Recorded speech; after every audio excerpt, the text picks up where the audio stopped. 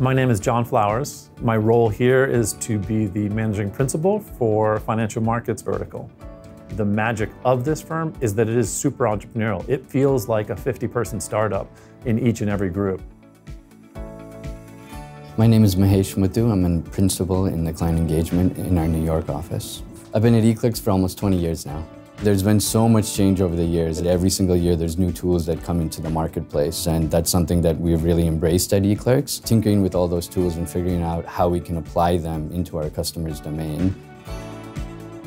My name is Shahida Haider, and my role at eClerx is a program manager for a financial service sector.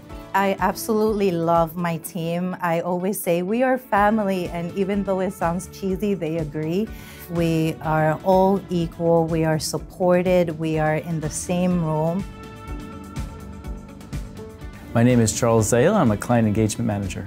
Coming from an organization that did quite a bit with technology, I've seen technology evolve at a very rapid rate at eClerx. My favorite thing about the job is the level of flexibility that leadership gives to deliver for its clients. How do we use technology in more places? How do we use it in a more driven way, almost like a product company would? We think outside the box and we are quick to suggest client solutions to their ever-changing, fast-paced environment. We very much have an open door policy. All management is very accessible and open to any kinds of ideas. What we're always looking for is anyone who can build a team, build a group, build functionality around a product.